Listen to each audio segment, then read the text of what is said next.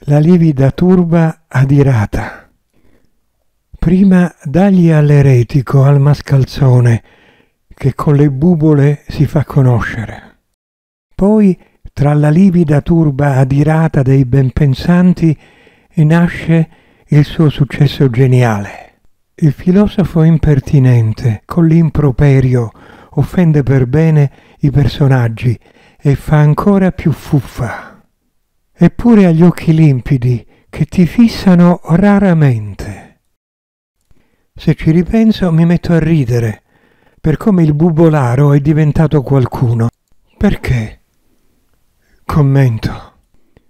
Perché il bubolaro ha eseguito la legge, per cui ogni massa merita il suo maestro.